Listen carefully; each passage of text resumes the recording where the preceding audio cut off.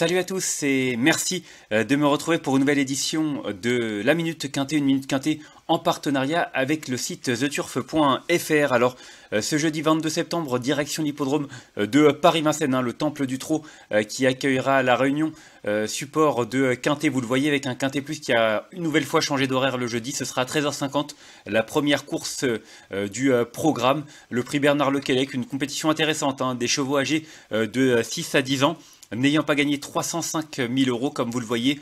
16 euh, concurrents au départ, on a fait le plein de partants. C'est une course européenne, 2700 euh, mètres à parcourir euh, sur la grande piste de Vincennes. Et on va faire euh, le point euh, tout de suite. Hein. J'ai retenu en tête de ma sélection euh, le numéro 4 Galileo Bello, un cheval qui est en grande forme, qui vient de s'imposer récemment sur la piste de Laval dans un bon style. Hein. Il m'a vraiment beaucoup plu auparavant. C'était vraiment très bien également dans les étapes du GNT qui se disputaient à Pornichet.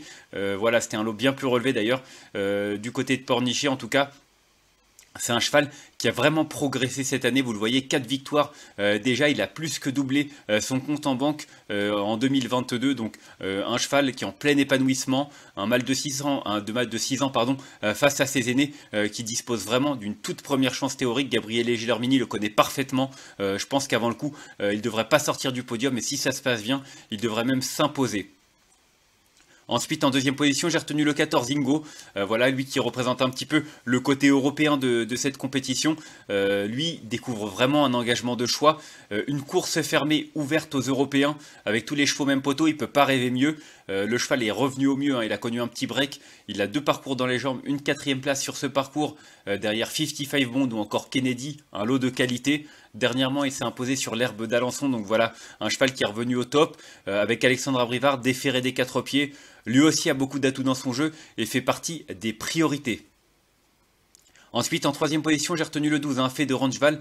Euh, c'est une euh, jument de 7 ans euh, qui a réalisé également une belle saison jusqu'ici. Alors, elle s'est montrée fautive la dernière fois dans l'une des courses références. Vous le voyez, c'était le mois dernier dans le prix de Beaune où Ingo terminait quatrième pour sa rentrée.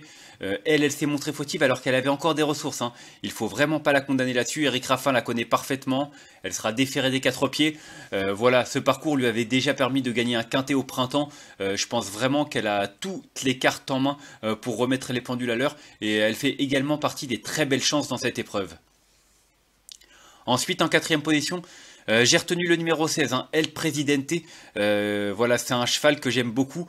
Euh, parce que déjà, il est bien engagé. J'aime beaucoup Jean-Marie Roubaud en général. Lorsqu'il se déplace en région parisienne, euh, il prépare très bien ses chevaux et il déçoit très rarement. Euh, je pense que ça va être une nouvelle fois le cas avec ce El Presidente. J'aurais préféré que ce soit Eric Raffin hein, qui lui soit associé, comme souvent lorsque Jean-Marie Roubaud fait appel à des pilotes pour driver en région parisienne. Maintenant, Eric Raffin est surfait de Rangeval et je pense qu'il a tout à fait raison. En tout cas, El Presidente, c'est un Hongre de 8 ans qui a déjà bien fait sur ce parcours, qui a deux courses dans les jambes, qui sera déféré des quatre pieds. Euh, voilà, Franck Nivard est en grande forme, il a gagné un critérium, euh, mine de rien, euh, ce dimanche. Donc voilà, on peut lui faire confiance pour driver ce El Présidenté en confiance. C'est un cheval en plus qui a l'air quand même assez maniable, qui ne se montre que très rarement fautif. En tout cas, ça lui est pas encore arrivé cette année. Donc voilà, je pense qu'il a lui aussi une toute première chance à défendre. Ensuite, en cinquième position, j'ai retenu le 5 Carolina, euh, qui avait euh, surpris entre guillemets. Elle s'était imposée euh, cet été sur l'hippodrome d'Anguin à 16 contre 1. Elle avait eu un très bon parcours avec Christophe Martens pour s'imposer. Là, elle a repris un peu de réfraîcheur et elle s'est imposée une nouvelle fois sur l'hippodrome d'Amiens. c'est une concurrente qui a besoin d'un parcours caché. Hein. C'est le seul petit bémol avec elle. Maintenant, elle est dans sa catégorie. Elle a déjà montré qu'elle était capable de bien faire sur la grande piste de Vincennes. Voilà, je vous l'ai dit, euh, c'est une jument de 8 ans qui n'a pas une grosse marge de manœuvre à mon avis, euh, surtout sur la grande piste de Vincennes. Mais bon, euh, si elle a le parcours caché, qu'elle a le jour au bon moment, elle est vraiment capable de réaliser une bonne performance. pour la victoire, je pense que c'est compliqué, mais si elle venait accrocher une 4-5e place, je ne serais pas étonné. Ensuite, en sixième position, j'ai retenu le 11, un Fine Pearl of Love. une Fine Pearl of Love, deuxième atout de Emmanuel Varin, qui vient de s'imposer dans la clôture du Trophée Vert. Euh, vous voyez, c'était du côté de Cran il y a un peu moins de trois semaines devant Destin Carizé et Edith Dupomereux notamment. Elle battait un bon lot. Hein. Maintenant, euh, c'était sur de l'herbe. Euh, c'était un temps assez moyen. Hein. La piste était quand même dans un, état différent de ce qu'on a l'habitude de trouver. En tout cas, elle gagnait bien. Ça, on peut pas lui reprocher cette victoire, on peut pas lui enlever. Mais bon, 2700 mètres, grande piste, elle a un peu moins de marge à mon sens, même si son entraîneur est assez confiant. Je la préfère sur le parcours de vitesse, sur la piste de Vincennes, parce que avaler la montée sur le parcours de longue haleine, c'est jamais une évidence pour elle. Mais bon, elle a quand même des moyens, elle est dans sa catégorie. Et euh, avant le coup, elle a quand même le droit de terminer à l'arrivée de ce quintet. Ensuite, en septième position, j'ai retenu le 6, un Gamble River, euh, qui vient de peaufiner sa forme sur l'hippodrome de Rambouillet, je crois. Hein. C'était sur une piste en herbe. Euh, un cheval qui, depuis qu'il est arrivé dans les box de Pierre-Louis Deshonnettes, montre de belles choses. Hein. Il était chez Sébastien Garato auparavant. Il a réalisé un très bon début de carrière. Du coup, il avait pris beaucoup de gains dans sa jeunesse. Maintenant, les tâches ne sont pas forcément si évidentes, mais bon, euh, vous le voyez, il se montre régulier. Il a couru quand même des lots qui étaient intéressants. Voilà, il sera plaqué des intérieurs, déféré des postérieurs. Euh, François Lagadec, pardon, qui lui sera associé.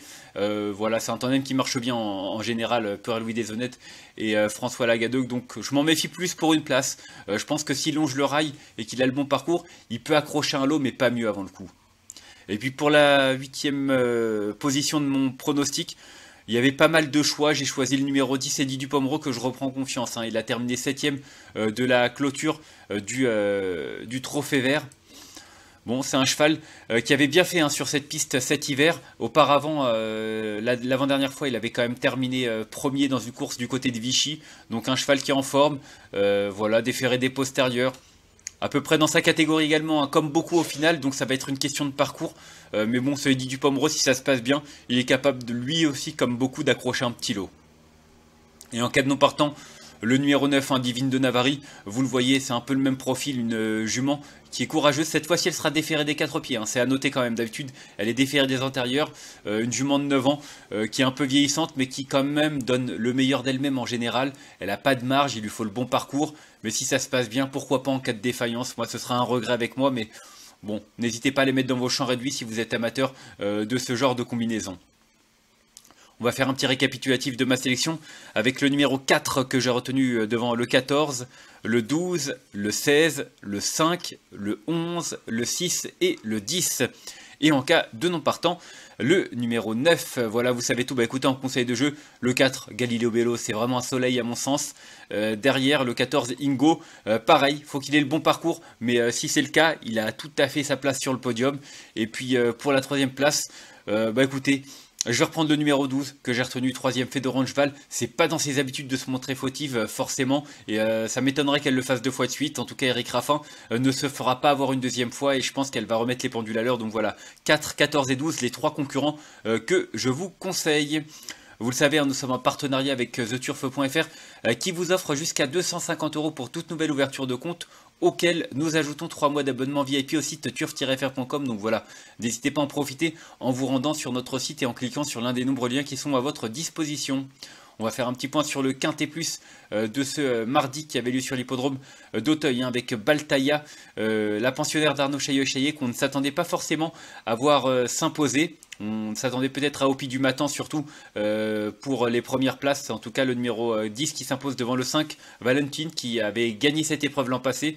Le 13 Impulse Précieuse hein, qui surprend également. Le 6 au-delà, très belle rentrée. Puis Ma Beauté malgré son gros poids euh, qui arrive à compléter la bonne combinaison.